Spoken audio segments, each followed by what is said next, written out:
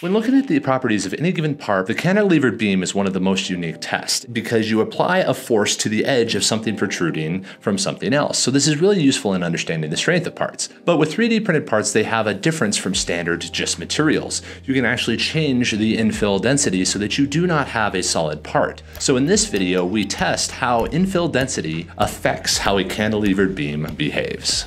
So how this test was set up, we used 20 millimeter rods printed in a standard PLA. The force was applied at 40 millimeters from the point of rotation, and it was held in the same position throughout all of these tests. Therefore, we have a nice consistent piece of data for each one of these rods.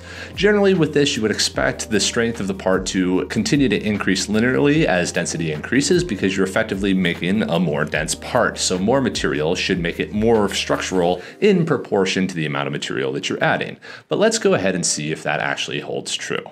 We start off with a 10% infill using, of course, the rectilinear infill.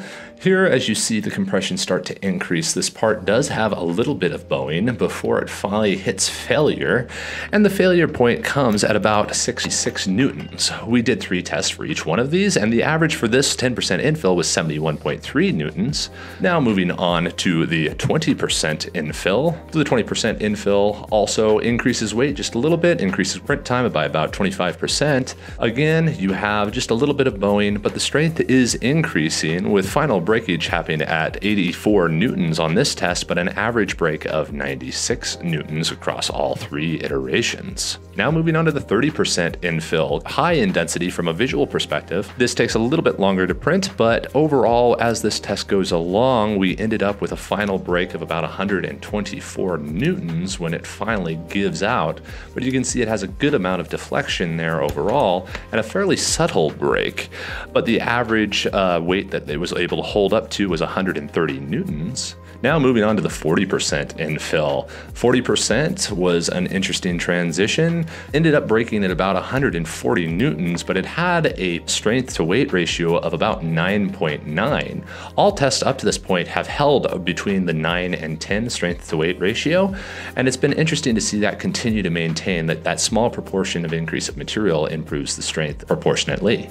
Now to the 50% infill. This one, great big step. You're almost having a completely enclosed volume now. As the pressure is applied there, this one ends up failing at 174 newtons. While the data on this test was a bit more noisy, over the three iterations you had an average peak force of 165, but still the strength to weight ratio remains at 9.7, so it's following typical material properties, which you would kind of expect in this sort of a test.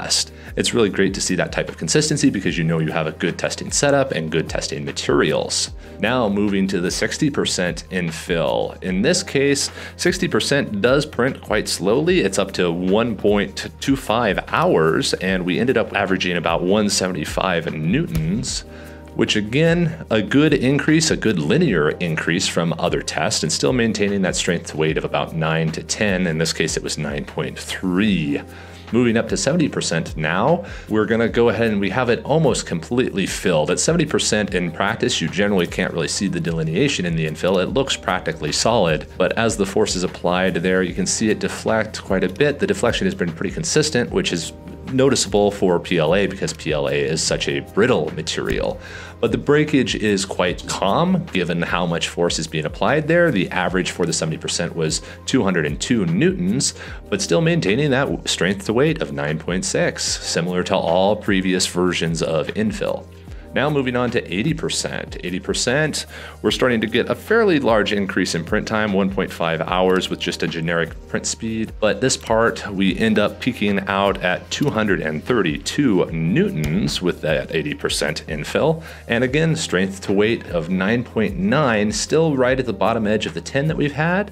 Now moving on to 90%. 90% almost perfectly full, but just a little bit short as we see the compression start to take hold on there. Again, the deflection seems to hold and we have the average force of 330 newtons, which is a large jump from previous tests. A lot more strength in this one. And we had a strength to weight ratio of 12.6 there's certainly been some sort of switch flipped going up to the 90% infill, probably because it's starting to behave much more isotropically. Now moving on to the 100% infill. Most people avoid this because it adds a lot of extra material to the part and a lot of extra print time. The 100% actually though does not add that much more from previous iterations, only about a few percentage points there. But overall, the strength radically increases between 80% to 100%, almost doubling at 520 newtons over the average of the three tests. We had a much stronger part, and the strength to weight also almost doubled from all previous tests. At 80%, we were still at a strength to weight of about 10, and that held for everything down to 10%. But at 100% infill, we had a strength to weight ratio of 18.8. So those tests went pretty much the way we expected. A linear increase in infill created a linear increase in overall strength. They're following good mechanical properties that you would expect in physics. But an interesting thing happened. Once we flipped into 90% and 100% infill, both the strength to weight ratio and the overall strength of the part radically shot up, which is a very interesting phenomenon because it was still a linear increase in material. So the dynamics of the print process were changing at those infills. Now we can only hypothesize about what those precise properties were, but right now we can presume that it's probably due to the amount of overlap of the individual rastering lines inside of the print and the increased heat density, because since the infill is not so spaced out that there's airflow around it, the beads of filament do not cool down as quickly, so they have more time to adhere to each other and bond, creating a more isotropic-like part. Therefore, you get a lot more strength out of it rather than just simply the layer adhesion of native infills. In next test, what we will do is we will actually take that 100% and 90% infill parts and compare them against traditional isotropic parts like injection molding or machined pieces.